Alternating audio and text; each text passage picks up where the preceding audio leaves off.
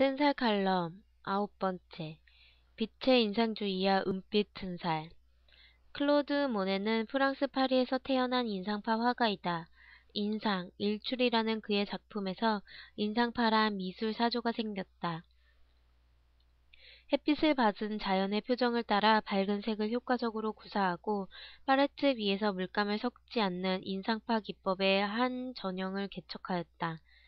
그의 주요 작품으로는 인상, 일출, 루앙데성당, 수련 등이 있다. 인상파 화가는 빛에 몰입하여 근대와 현대 미술의 문이 활짝 열렸다. 빛을 그리기 위해 인상파 화가들은 당시에는 인상주의라는 비아냥거림 속에 끼니를 걱정해야 할 만큼 생활고에 시달렸다. 모네는 1883년에는 지베르니로 주거를 옮겨 수련 작품을 제작하였고 만년에는 저택 내 넓은 연못에 떠있는 연꽃을 그리는 데 몰두하였다.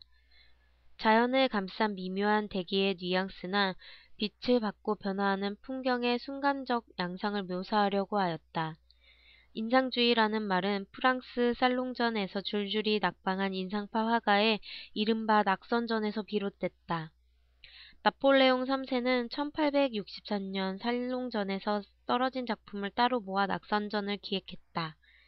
사람들은 인상파 화가의 그림이 무엇을 그렸는지 알아보지 못하는 느낌을 받았다. 자연빛 아래 세상은 인상파 그림처럼 엄청나게 환하다. 빛은 늘 한 가지 빛이지만 인상파 이전과 이후의 빛은 확연히 달라졌다. 모네는 모호한 그림으로 추상화의 선구자적인 역할도 하였다. 사실 예술도 선구자적인 입장을 서면 여러 가지 비판을 받기 쉽다. 사실 필자의 튼살 치료도 앞서 나가기 때문에 비판을 받을 수 있다. 하지만 필자의 튼살 치료는 사진과 눈에 의해서 증명이 된다는 점에서 비판으로부터 자유롭다. 또한 팽창선조라고 불리는 튼살은 빛의 방향에 따라서 심하고 심하지 않고가 구별된다.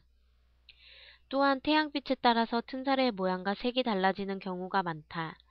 즉 햇볕이 센 해변이나 실내에서는 튼살이 매우 눈에 잘 뜨이고 실내에서 캄캄한 환경에서는 거의 햇볕이 없어 잘 안 보이는 특성이 있다. 인상파 화가의 그림이 각도나 관점에 따라서 특이하게 보였던과 마찬가지로 튼살도 보는 각도에 따라서 보였다 안 보였다는 특성이 있다. 물론 매우 심한 경우에는 튼살은 어디에서나 잘 보인다. 특히 수영장이나 해수욕장 등 실내에서 노출을 많이 할 경우에는 꼭 튼살 치료를 받는 것이 좋다. 많은 사람들이 오래된 튼살을 하얀 튼살이라고 말하지만 탄력이 많이 떨어진 튼살이 햇빛을 받았을 때는 반짝거려 은색으로 보인다. 은색 튼살은 뜨거운 햇볕 아래 노출을 더욱 어렵게 한다. 튼살이 오래되고 탄력이 떨어지면 튼살은 은색으로까지 발전할 수 있다. 은색 트은살일 경우 나이가 들어감에 따라 탄력이 더욱 떨어질 수 있으므로 치료를 하는 것이 좋다.